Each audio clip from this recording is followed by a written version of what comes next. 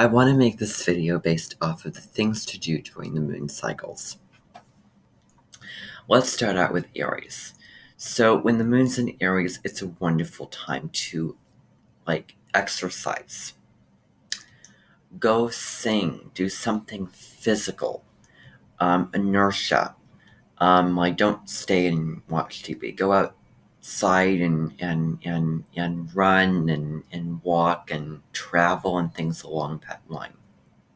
Especially because it's um, very emotional so it can help us relieve off of that emotional um, side to aries during that time. Moon and taurus. Plant a garden. Go outside in nature. Um, sit in a nice comfy chair and read and do something stable. Arts and crafts project, doing things with your hands. Um, meditation, eating, cooking, all those things like that. Painting. Moon and Gemini, speaking, um, going online, um, reading, learning, getting to know other people.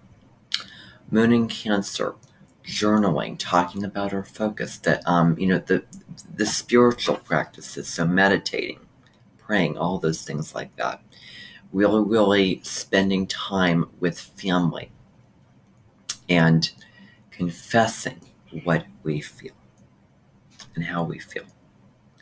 When the moon's in Leo, um, you know, watching a play or a drama or people expressing themselves.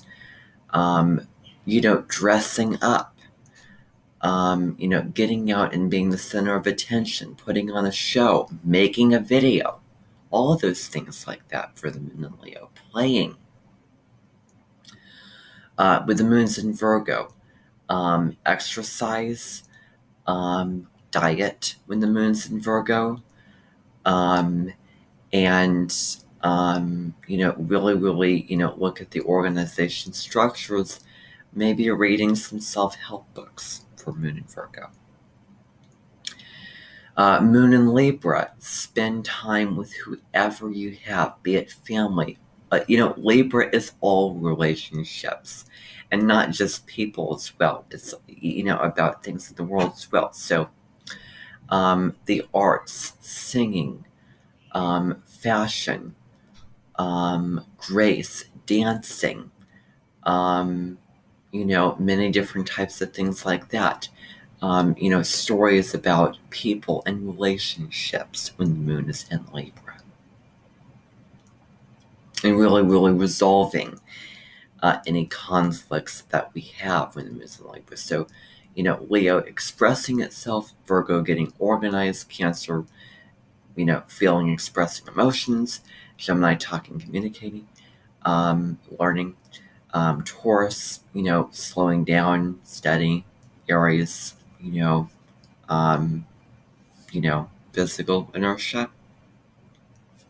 Um, Scorpio, meditating, looking at psychology, um, getting deep, um, emotional stories like watching I Survived, watching shows like Paradise Lost, shows and biographies about people who were Plutoized, like Hitler.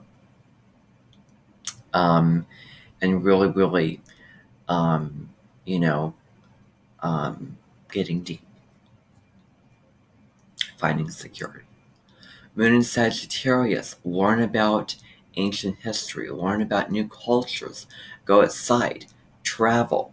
Um, wonderful things to do during um, um, moon and set. And, and again, these are just general recommendations. Philosophy, um, learn, you know, Buddhism uh, and things like that, even meditation, even spirituality. Permission to feel free. Uh, moon in Capricorn, Look at your career. Let's get serious. Purpose, decisions of what is best to do. Getting things done. The best way to do it is to do it. Doing things like grounded results when the moon's in Capricorn. Moon in Aquarius, humanitarian focus. Um, reading, looking at historians, looking at um, philosophers, looking, you know, being open minded, learning about different types of people, different uh, ethnicities, things of that nature. And looking at current events of what's going on around the world right now.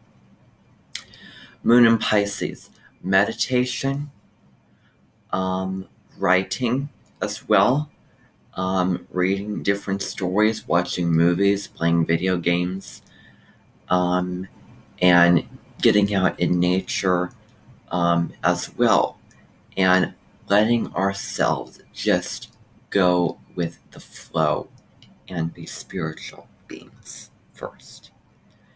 Those are all of the moon placements and recommendations of what to do during those moon placements. Not that you have to, but going along with the science as well. Thank you for watching, everyone.